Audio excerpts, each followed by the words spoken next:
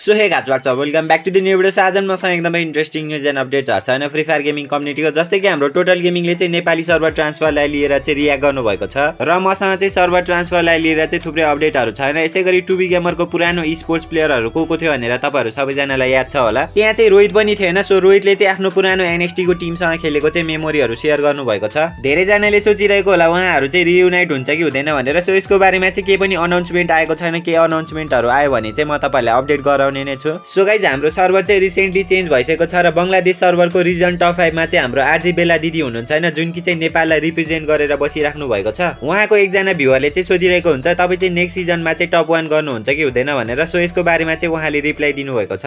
Okay guys म त आफ्नो तर्फबाट हन्ड्रेड पर्सेन्ट दिन्छु होइन? टप वानको लागि नेक्स्ट सिजन बट यो पालि पनि ठिकै छ टप फाइभमै छु म। उहाँलाई चाहिँ नेपाली बोल्नु भनेर पनि एकदमै रिक्वेस्ट गरिरहेको हुन्छ सो उहाँले चाहिँ के रिप्लाई गर्नुभएको छ अगाडि आफै हेर्न सक्नुहुन्छ? दिदी नेपाली बोल्नु रे सुगम भाइ मैले चाहिँ इन्डियन अडियन्स पनि उ गर्न खोजा हो कि आफ्नो च्यानलमा चाहिँ ग्रोथ गर्न लाओ सो तिमीले हिन्दी बुझ्दैन र?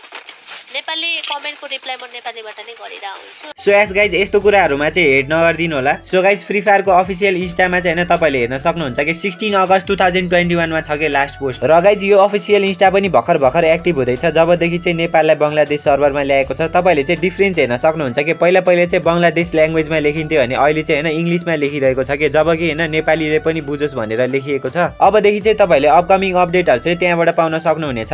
नेक्स्ट अपडेट चाहिँ हाम्रो अज्जु भाइबाट। सो तपाईँलाई थाहा छ होला। अज्जु भाइले चाहिँ कति धेरै नेपाली प्लेयरहरूसँग नेपाली युट्युबरहरूसँग खेलिरहेको छ कि होइन? सो रिसेन्टली अहिले चाहिँ सबैजनासँग छुट्टिनु परेको छ। उहाँ चाहिँ धेरै जस्तो नेपालबाट चाहिँ एसआरबी विराटसँग नै खेलिरहेको हुन्छ। सो सर्भर चेन्जलाई लिएर चाहिँ उहाँले केही कुराहरू भन्नुभएको छ अगाडि आफै हेर्न सक्नुहुन्छ। बीरज का क्या सीन? हुआ बीरज कुछ बोल रहा था? ऑफलाइन हाँ।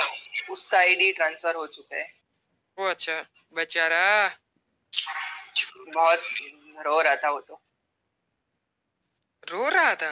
क्या बात कर रहे हो? हाँ मतलब उसी टाइप का थोड़ा मतलब इमोशनल था थोड़ा सा।